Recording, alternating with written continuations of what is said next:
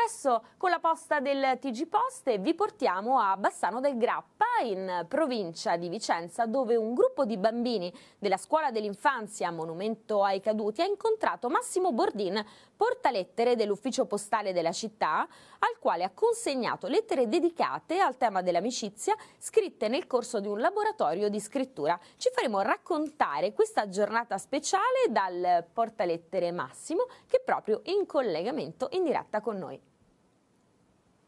Buongiorno Massimo, grazie per aver accettato il nostro invito. È un piacere, buongiorno a tutti. È un piacere per noi. Allora Massimo, la figura del postino diciamo è un po' un mito per tutti i bambini, ma ci racconti come hai descritto il tuo lavoro, la tua giornata ai bambini?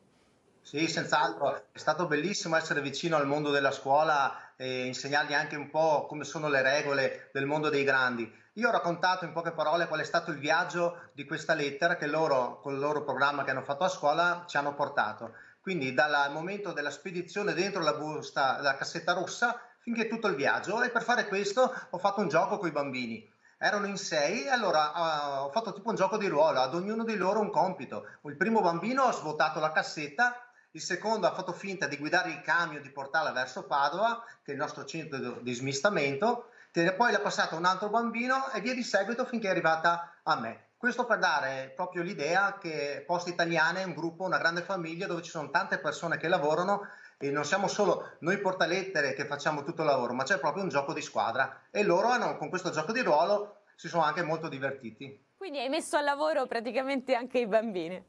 Ma ci, ci togli una curiosità, che cosa ti hanno chiesto? C'è qualche domanda particolare che ti hanno fatto? Che cosa volevano sapere?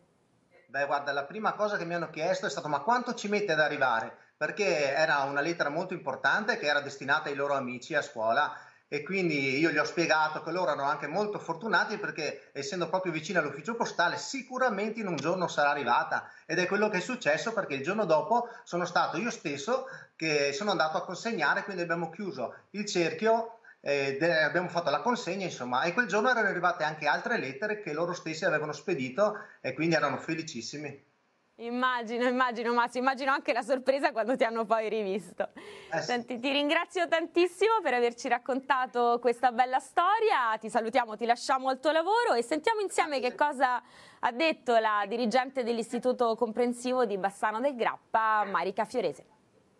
Questa iniziativa di oggi, partita dai bambini guidati da questa loro maestra nel conoscere il servizio postale e questo incontro con il postino è nato nell'anno in cui l'educazione civica entra nelle nostre scuole. Questa uscita di oggi ha reso i bambini entusiasti perché dopo molto tempo si ricomincia a uscire, a ritornare un pochino alla volta alla normalità. E questo incontro di oggi che l'ufficio postale di Bassano ci ha permesso di fare è per noi motivo di grande soddisfazione.